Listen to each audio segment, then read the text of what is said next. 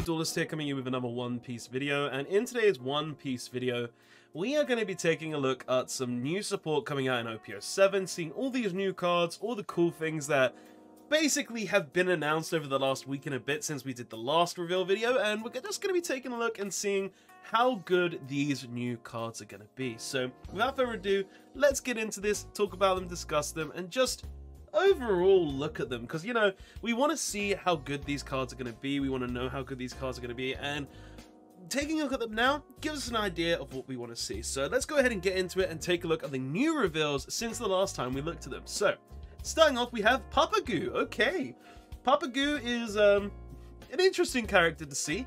What does he do? So he is a green character two cost zero power.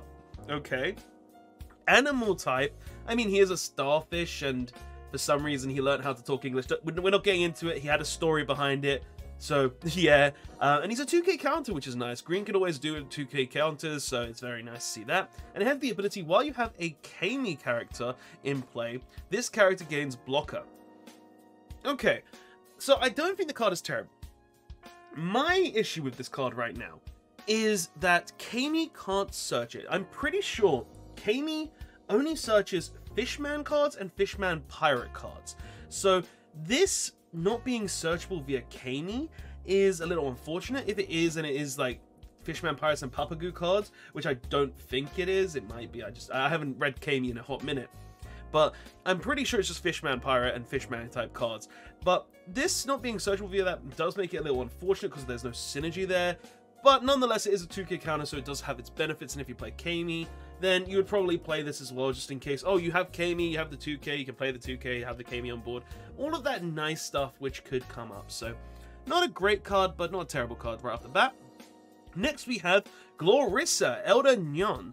Okay, okay, we've got the Elder Nyan, some famous pirate from back in the day who was on a very special pirate crew. If you uh, guys know, you know. If you don't, don't spoil it. But let's go ahead and see what Gloriosa does. She is a one cost, zero power, mm, Amazon Lily 1k counter. Now, I don't like zero cost characters just as a general thing, especially when they don't have even 2k counter.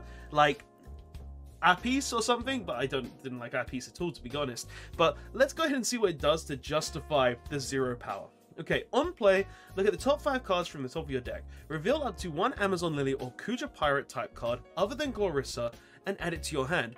Then place the rest of the bottom of your deck. Okay. Okay. So it can search two types of cards. That's pretty decent. Searching two types of cards is decent. But, zero power, I don't justify it. Yes, she's an old lady. Yes, she's frail. But come on, she was one of the most powerful pirates of her age and a former Empress of Amazon Lily. You couldn't give her 1k power in her old age? Come on, I'm pretty sure she could still fight if she wanted to. But yeah, I guess we it's it's not bad. Like generally for like the Boa Hancock deck, there's probably be used as a four of regardless, but I just don't like 1k power, 0k power cards. Like, it could have had at least 1k, right? It could have had at least 1k. But hey, you got to deal with it. You got to live with it. You Boa Hancock players, you got a searcher. Be happy. Okay, what we got next? We got Ito no Zumo, or Ito Minazu. Um, this is actually an interesting one to see. I didn't expect us to get the Foxy Pirate announcer so soon, and honestly, I want to know where the hell his bird is, because he was, I, I could swore, when he was in the Foxy Pirates, like, flying around the stage. He was on like a big yellow bird or something. Where's that bird?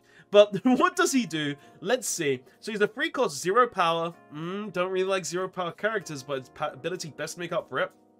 Foxy Pirates, 1k counter, and has the ability that says activate once per turn if your leader has Foxy Pirates type and you do not have any other cards in play named Itonozu, add up to one rested Don from your Don deck. Okay, so it's Onigashima. Foxy needed an Onigashima. With its leader ability, you're going to be negging 3 Don every turn, meaning when you hit 10, you would always be at a disadvantage. So this card existing means that you now have the ability to guarantee you are always on 8 Don, meaning you'll go back up to 10 Don. That's pretty good. And I do like how this is under 4k as well. So you can go ahead and get it with Porche. So you can go ahead and play Porche, Negadon, look at top 5, see this, get this, play this instantaneously, and then get that Don back. So it does have a lot of synergy, and I do really like that, which is kind of cool. And Foxy Pirates did need an Onigashima card, so this is this is mandatory for of in the deck, I think. Do I like how you can only use one of it? Mm, I feel like it would be better if you could use at least two, but nonetheless, the announcer for the Foxy Pirates has the ability to ramp. That's the main thing. You need ramp. Purple needs it so bad, and this this this is good. If would I have liked it as a character? Probably not. I prefer it as like a stage, but not not the worst. Not the worst. All right, what we got next? So we got Atlas. Okay, more Vegapunk support. You can easily tell which leader I'm most excited to try out when it gets put on the sim. Atlas. So it's a yellow character, 5 cost, 6k power. So it's a 5 cost so you can use the Vegapunk ability to play it for free, which is nice. And also it's 6k power, so it's a beat stick. And she is like Raph, so like she, she should have the ability to punch, right? Okay, so what does she do?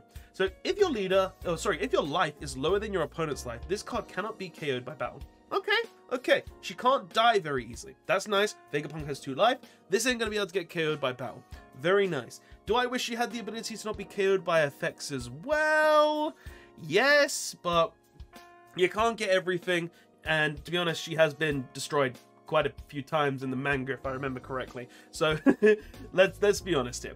Right, but what is her trigger ability? If your leader is Vegapunk, play this card. Yep, yep, that's what we need. That's what we need to see. Like Luffy, the other egghead type card that we've ever seen outside of the Searcher, um, Vega 2, I can't remember her name to save my life.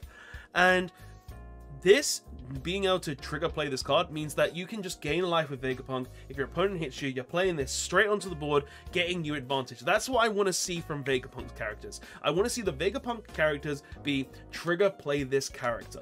That's what I want to see. So hopefully we get more like Atlas here and the rest also have play this character because Luffy having KO character was good, but I want play this character. That's what I want to see. All right, what we got next? Next we have Kaku. Okay, Kaku, the CP0 version of him. And he is a black character, for cost, 5k. Okay, a little weaker than his original Kaku. But what does he do? CP0 2k counter. Okay, okay, that little loss of power does do work good for him. And it's on play, you may place two cards with a type, including CP from your trash to the bottom of your deck. In any order, give up to one of your opponent's characters with free cost, well, neg free cost for the rest of the term. Okay. Okay. Let me be frank. This card is okay at best. Like, with the new Lucci leader ability, yes, it does make sense to have an ability that says put cards from the uh, CP to the bottom of your deck to essentially get rid of cost. But my issue with this card, my main issue is, it only negs 3, and it's only on play. The fact that it's only on play means that you're wasting a 2k in your hand, which yes, isn't necessarily bad because you're getting a 5k body that can also decrease something by 3, but let's be honest, with what we've got access to currently, with the Rebecca, and also the ability to just go ahead and play Hina from the trash, wouldn't you rather just do that than play Kaku? Getting a blocker and then also getting a 5k body that also decreases? Like, I feel like that's just overall better. So I feel like that's just kind of disappointing for Kaku. Like you'd probably still play this because it is a 2k counter that's a body, but yeah, he's not terrible. I just feel like it's kind of disappointing that he has so like so many restrictions on him essentially. Like having the ability, well, just putting two cards to the bottom means that you already have to have the setup. It has to be late game. And yeah, with the leader ability of Lucci, it's not bad, but I just feel like he could have been better. I feel like he could have been better. Yeah, like especially with the original one. The original just killed a character. Like I felt like it was great, but this one is just like, mm, just I'm just not a fan. I'm just not a fan. But let's go on to the next one. Oh, we got Foxy himself now. Okay, what does Foxy himself do? Okay, so he's a purple character, 7 cost, 7k power, Foxy Pirates. On opponent's turn, if your leader has the Foxy Pirates type, all of your opponent's characters have neg 1k power. Okay, okay, that's that's not bad. That's not bad, because it means that you're guaranteeing the decrease during your opponent's turn, meaning they have to waste more resources to hit you and also hit your characters. And imagine having like four of these on the board, or even three. Like you're decreasing all of your opponent's characters by at least 2k if you have two of these. Like that's actually pretty decent. I don't think it's terrible at all. So i like foxy. I like i like that ability. It's not bad. But what does it else do? Because it's got another ability. Activate main once per turn add up to one rested don from your Ooh. Ooh, okay. This deck has a couple of Onigashima abilities. Alright, Foxy... I, I hate to say this, I do, but Foxy might actually be decent. Like, not gonna lie, Foxy might be actually a pretty good deck going forward. Like, depending on what the rest of its support is, I might I might actually play Foxy. Like this ain't bad. Like I wish we got Buggy first, but this this this is not a bad ability at all. Like you get decrease on your opponent's turn, and then you also get the ability to ramp. Yeah, I can't I can't diss this. Like continuous ramp with the ability to also rest your opponent's leader. Okay, we'll keep your opponent's leader and character rested. That's pretty good. That's pretty good. All right, we'll go. Please, please be good. Trafalgar Law, blue character, 4 cost, 4k power. Oh, it's already weak. It's already weak. Okay, 4k power, 7 Wonders of the Sea. Okay, so it's when he just joined Luffy. Heart Pirates, 2k counter. Alright. Activate main. You re may return this character to its owner's hand. If your opponent has 6 or more cards in their hand, they place one card from the hand on the bottom of their deck.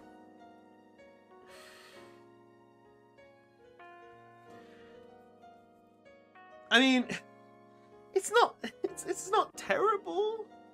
It's not awful. Like it, it's playable, but they get to choose what card goes back. Why can't it be random?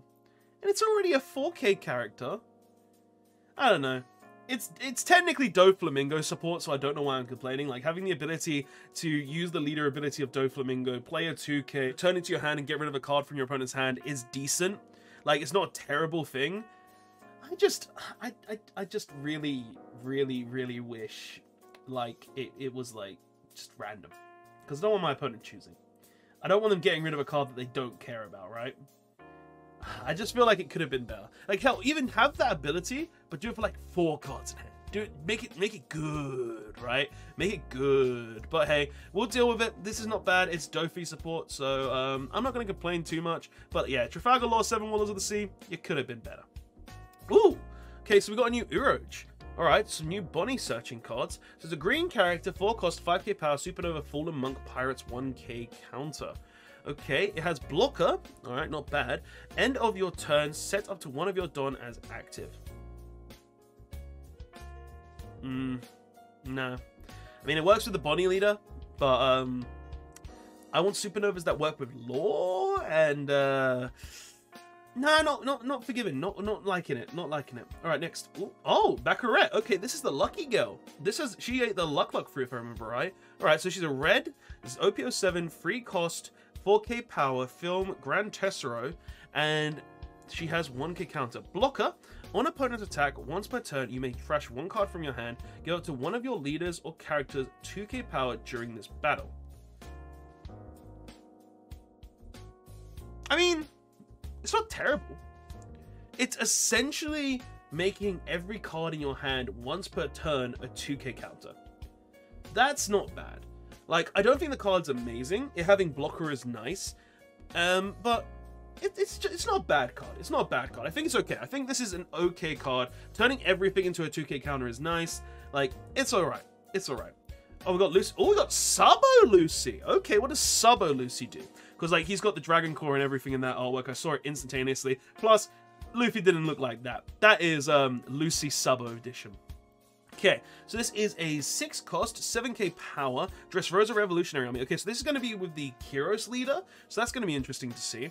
And it's, when attacking once per turn, you may put the top or bottom card of your life pile into your hand. Rest up to one of your opponent's 4 cost or less characters, then if your life total is 1 or less, place the top card of your deck onto the top of your life. So this is a character that, when attacking, gives you a life and can rest an opponent's character. I'd say it's okay. Yeah, I'd say, I'd say this is actually a decent card. It, it's technically on the yellow curb. It gives you the ability to gain life. Like, it's not a bad card. Like, I feel like the me thing where you have to have like at least two life for this to constantly be giving you life is a little mm, okay. But I think this is okay. I think this is alright. It could be better. And especially with the ability with Kuros where you have to like flip a life to go ahead and get the ability to KO something with zero cost, I believe. This works very well with that ability, so I feel like it's very useful when it comes to Kuros. Alright, what do we have next? Okay, so we got Tanaka-san. I believe this was another Tesoro card? Yeah, it's a Gran Tesoro card. So it's a red character, free cost, free K power, film slash Gran Tesoro, blocker, trigger, play this card. I mean, I could just play Koby. Like the, the, the promo Koby. The promo Koby is essentially the same card. It's just not Gran Tesoro. Instead, Navy. Yeah, uh, I feel like they're just trying to like get rid of the Uta cards. Like they're trying to make it so they print them differently, just because obviously the Uta cards are kind of expensive. So interesting. And oh, we got Aladdin. Aladdin. Okay, what does he do? Green character, 5 cost, 6k power, Fishman slash Sun Pirates. Blocker. On KO, if your leader has the Fishman type, summon a free cost or lower Fishman or Mermaid type character from your hand. I mean, I like how we've got little koala on the artwork, but eh, it's it's like a worse Bluno. It's it's literally a worse Bluno in my personal opinion here. It's not terrible. It's just a 5k, a 5 cost 6k blocker, and it doesn't have counter. I feel like it should have had counter at least. That's that's my opinion on it. And oh, we got more Boa leader support. Okay, so we got Boa Marigold. All right, let's see what the big sister does. Or little sister, I, can't, I actually can't remember what the sister Brayton Kings are and stuff. So 5 cost, 6k power, Kuja Pirates, 1k counter. On play, if you're if you have two or more characters in play, the Amazon Lily or Kuja Pirate types place up to one 2 cost or less character on the bottom of its owner's deck. Okay, so essentially if you have like a Lily and a Kuja or both or one of these or two of each, then you get to put a two cost or less at the bottom deck. I mean, I don't like it. I don't think it's good, but um, it's there. It does something. Yeah, if like like what what do you want me to say? It just gets rid of a two cost or less, and you have to have two other characters, or you have to have at least one other character on the board when this ability happens because Two cost is too low. I, I, think two cost is too low. That's just my opinion. Like, it's just too low. Oh, Boa Sandersonia, though. Okay, okay. Everybody likes the snake girl, especially this one with the big head. right, blue character, free cost, free K power, Kuja Pirates, 2k counter. Okay, okay. And on play, if you have two or more characters in play with Amazon Lily or Kuja Pirates, return up to one free cost less to its owner's hand. Again, that's just, it's just too low. Like, I feel like free is just too low, and it's returning it to the hand so they can just use it again. I don't know. I feel like like any card that says return to the hand just feels kind of underwhelming. Like the the, the best one is the 10 drop Kaido, just because the 10 drop Kaido can return two, right? And you only play that in Blue Croc because Blue Croc makes it free. So I don't know. I, I feel like it's underwhelming. Like the Kuja Pirate cards, I get why they do what they do because they do these things purely so that you can get draws with your leader ability. But if the cost is so low on the ability to get rid of stuff, it's not gonna really ever happen. It just feels kind of underwhelming seeing this kind of abilities. So it's just like, why would I play these cards when there's better blue cards that remove more things and I can still get draws, right? That's just like, that's just my thought process right now. It's just these are kind of underwhelming for the Boa leader. I feel like if maybe like the Marigold got rid of like a free cost, four cost to the bottom. I would say four cost is probably the minimum, and she has to have like maybe three, up to three Amazon Lily characters. I would say this is actually better. Like when it comes to Sandersonia, yeah, you got like low power, you got a 2k it, which is nice, but you're really limited to free cost give me a five cost at least, right? Then that way I can deal with like queen blockers, I can deal with kid blockers, I can deal with these five cost blockers that are annoying. And yeah, it's like bad for your opponent, and it makes it a bit too good because it's a free cost. But make it a four cost then. Make it a four cost with 4k power and has the ability to get rid of a five cost. Put it back in the hand, they can play it again, they can do things. Like, I just feel like these cards are kind of underwhelming. Like, if you just change them a bit, it's just like they're really underwhelming compared to like older cards. So it's, it's unfortunate. Okay, so it looks like we got a new Hancock Secret Rare. It looks like an SP Boa. Yeah, it does look like the SP Boa and Boa from OP01 with the power and also the counter. I'm curious what this is going to be, but We'll see. It's got a secret ability, apparently, so we don't know what this is just yet. And we got Salamin. Or Salaman? Salmon? I don't, I don't know how to pronounce his name, but he's Boa's snake. What does he do? So, blue character, uh, 1k cost, 2k power, animal slash Kuja pirates. Okay, okay. Giving it the ability to be searched. That's what I like. That's what I like to see. 1k counter, your turn on play, up to one of your Boa Hancocks gain 2k power for the turn mean, you play it in the Boa Hancock deck, you play this, you give your Boa leader 2k power, you go ahead and swing for a 7k. Not bad. Like, it's not incredibly good, but it gives, it does something useful. It does something useful, so I'm not going to complain. Oh, we have a Vinsmoke Sanji for the Judge deck. Or I should say the Reiju deck. Let's see what this does. I hope it's actually something decent. Okay, so Purple Sanji, one cost, zero power. I mean, the little ones so far have been shown to transform into bigger ones, so hopefully good. Uh, Germa country slash Vinsmoke's family. Okay, so he actually has those typings. 1k counter, on play, neg 1 don. If your leader has the type Vinsmo family, draw one card. Huh. I mean, I I guess with Reiju, this technically says draw two cards. Because the leader ability of Reiju says when you Negadon, you draw a card. But I'm just not impressed. I'm not impressed. It's it's not terrible, but zero power. Technically, canonically, that's true. He was the weakest one. He's just a kid. Like he wasn't augmented at this age because of like her mum. His mum suppressed it to keep his emotions. But it's just a little unfortunate, right? And ooh, a new jewelry Bonney. Okay, what does the jewelry Bonney do? Jewelry Bonney, green character, 5 cost, 6k power, Supernova Bonney Pirates. The 5 cost green Supernova is searchable via 1 cost Bonney do something good. 1k counter. On play, up to one of your opponent's rested characters or Don do not become active during their next refresh phase.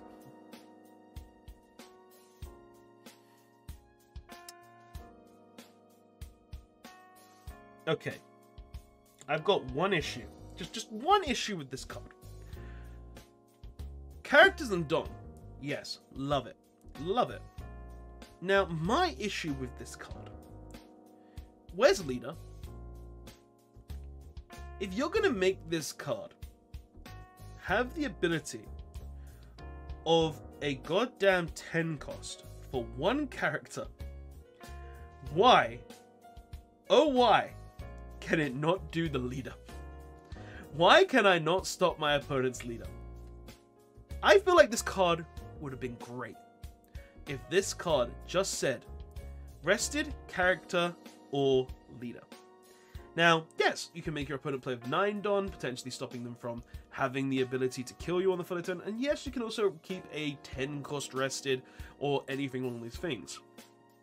But what I want to see on this character is leader. so, yeah, it's not terrible. It's decent. Stopping characters from being refreshed or Don being refreshed is nice. But where's leader? where's leader on the card? That's the only thing missing. I think it's decent. I think it's nice. Yes, I can use it in Trafalgar Law, which gives me some extra benefits. But I want leader on the card.